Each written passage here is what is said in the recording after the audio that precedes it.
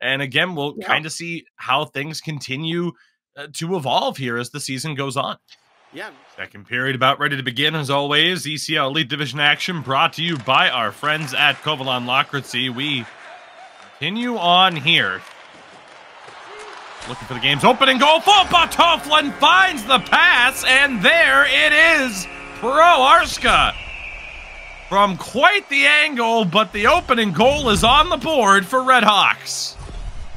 That was beautiful right there. Just, I didn't think he would be able to make that pass. I thought for sure he was just going to put a quick shot and test that short side of Fincere, but he's able to get that pass across with very, very limited space right here. You see, it was poked off, and that was about as far down, low in the zone he could have gone to make that pass. He does it. Proarska makes no mistake. 1 0 here for Redhawks. The turn of events here. Opportunity across once again. Pass off the mark. Frees up space for Koloslav. One on one with Furion, who gets the better of him, at least temporarily. Feed in front, and the puck is in. We are tied at one. What a shot from Tunkelia. It looked like police control had it, but indeed we're tied.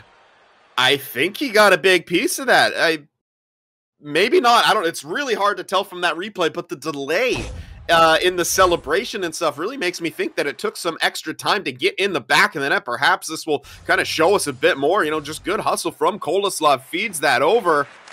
To Yeah, me, I don't know. It, it almost looked like he gloved it, and when he put the glove down behind him to stand up, the puck may have crossed the line.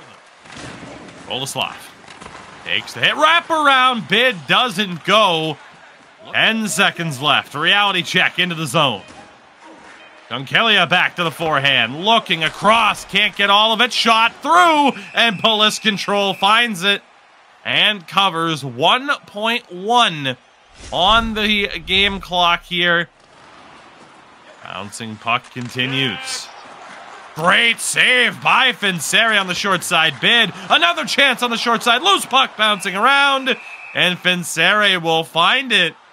Opa Toflin tries to hold on to it. Has Gotchin with him. Tries to go back all the way through the crease. As it went off the post. Nearly turned over. Nico and Kim Johan again working on this breakout. Good movement, and they score! Out of nowhere in the dying moments of this overtime, Reality Check find their breakthrough and take this first game 2 to 1. It only takes one good look back the other way, and this one is over. All that sustained pressure for Redhawks, all those chances, all those looks are for naught as reality check. In one fell swoop, come back the other way. Another tight pass right there, kind of reminiscent of the angle that Fopa Toflin had to work with on the goal for Redhawks is what he had to do right there, getting that across to Kolaslav and about half the net to shoot at. He won't miss from there. He picks up, I believe, his fifth goal of the season and a huge two points, extra point, I should say, for reality check. Changes that might need to be made? I mean, what do you kind of see for this game? Will there kind of be that willingness to adapt a little bit more? Or do you kind of see, at least in the early stages, uh, perhaps still that over reliance on trying to force the puck into the middle? Martindale, the no look glove down. Tough break. Or reality check. Furion across. That one on angle. Nearly found a way to sneak through. Bolislav, that one blocked as well. Of course, it wasn't until the second period of game one we saw both teams score. Until the end of overtime. What a spin from Kachin. Another great stop. Big contact there. Arska, second chance, knocked away. Final few seconds. Furion shot glove. Save Finsere at the buzzer. Yeah, it's just that everyone's defensive skill stick is going all willy nilly and hitting pucks at every angle. Short side, kept out, second chance, they score! It was bound to happen with how the run of play was going. Pro Arska, right place, right time, and Redhawks finally find the breakthrough. Yeah, puck might as well have been a hot potato. Excellent recovery from Fonsetti on that first one. You saw him slide over to his left to get that initial shot. I think we'll get a look at it right here as, you know, bouncing puck, sliding. Oh, I guess that shot didn't actually get off, but that slide over, unfortunately, put him in, you know, a, a, bad position for the, the way the, uh, the shot eventually went in. No fault of his own, of course. That puck was just bouncing like mad. They're on side.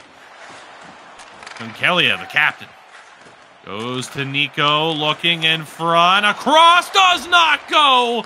What a look, that secondary pass from Koloslav. He still needs to win this one. Aggressive setup. Face off one. Reality check shot. Loose puck in front. Shoveled on. And they score! Finsere, as the extra attacker, ties this game at the last possible second. no cap. it's Jimmy Cap. Absolutely unreal right there. From behind the net, just trying to feed it back out front. Somehow goes in. What a crazy sequence. Looks for the deflection. Gets another shot on. Goes behind the net to retrieve it. And his pass out front must have clipped the pad of Polis control. Heads off. Koloslav takes a big hit. One back by Niskalaukaus. What a feed to Koloslav, but he couldn't handle it. Toflin, another defensive zone win. Still, I'm sure, regretting the loss that allowed the tying goal. And there's the winner! Pro Arska on the rebound. And Redhawks Esports get the win in double overtime.